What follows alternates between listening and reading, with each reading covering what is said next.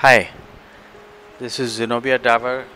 She happens to be my wife, and she's extremely passionate about embroidery right from childhood.